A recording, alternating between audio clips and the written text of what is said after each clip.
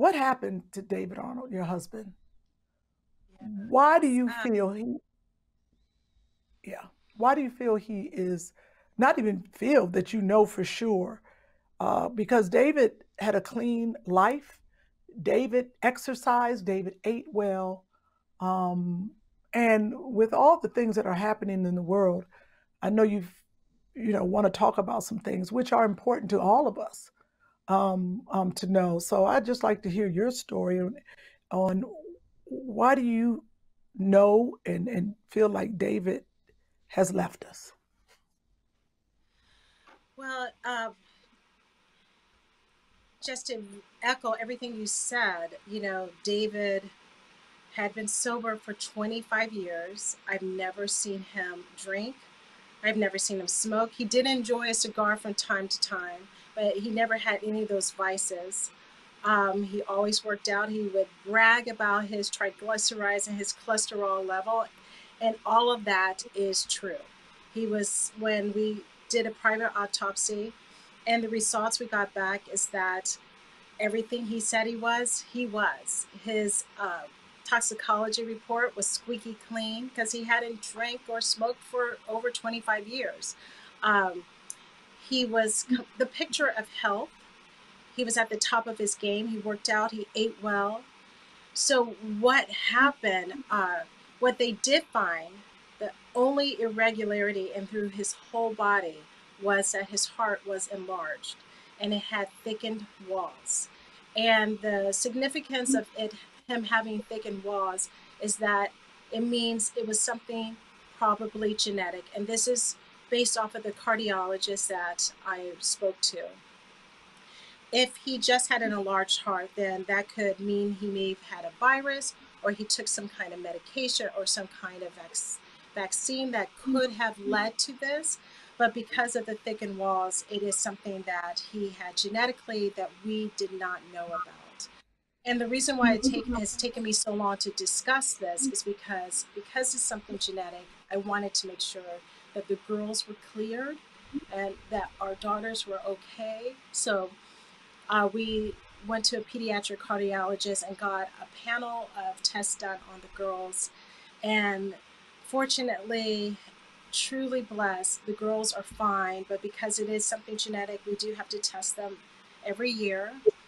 But Oh, uh, they believe that David had hypertrophic cardiomyopathy, uh, which is pretty much you hear about the athletes who are at the top of their game in the best shape and then they drop dead. It's that same thing. It's called the like a hidden killer, unfortunately, and we believe that that what led to David's demise.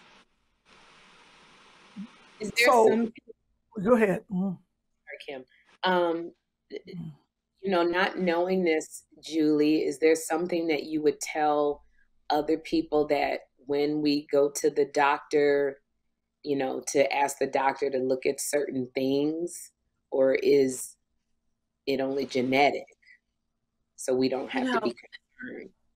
you know, Sherri, that's so tough because David would see his doctor. Obviously, he was very healthy, so he was in constant contact. He was working out, but they would have never went um, looked for this or given him an echo because he was so healthy. Uh, unless you genetically know that this runs in your family, you don't know to look for it. Only thing I can suggest is that every few years or when you do get your physical, you know, ask, say, yeah, I'm going to go ahead and get a echo just to check to make sure everything's in rhythmic form or to see if my heart has enlarged within the past 12 months. It's really tough. Um, the only like the solace that I have is the fact that normally we have this condition, the first symptom is you passing out, which is horrible. So it's always almost like it's too late. But I do find comfort in the fact that David fainted, passed out first before he felt any pain. Um, and that gives me a little comfort. Wow. Okay.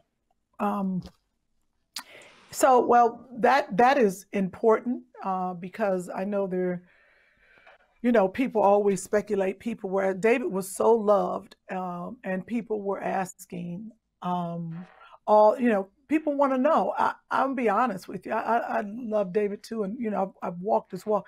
I had did not realize how loved david a. Arnold was. I i, I was blown away at the outpouring of support and the people that showed up at the celebration were you shocked by that I was not, I was su- surprised. I'm still surprised by how many people are still reaching out, sending me messages, just touching base, saying, just thinking of you. I have, and the support not only from the fans, it has been so exceptional. I have been so touched and moved by it.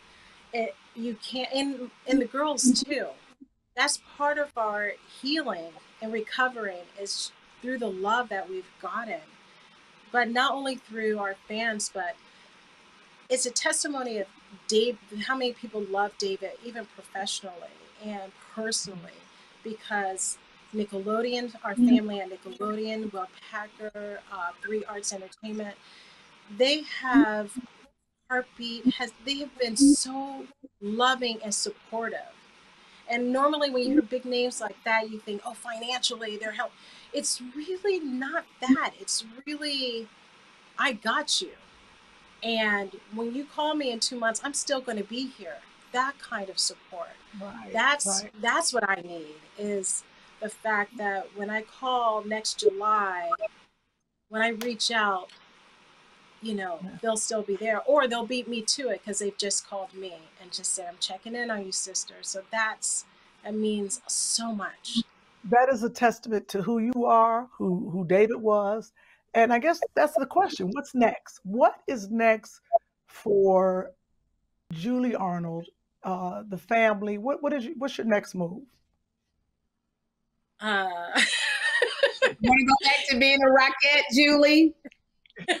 Not going to be joining you in New York anytime soon, but I will say this: my um, mental health, making sure that I'm on point and that the girls are on um, on point mentally, because mm-hmm. this is traumatic. Um, it's it's hard.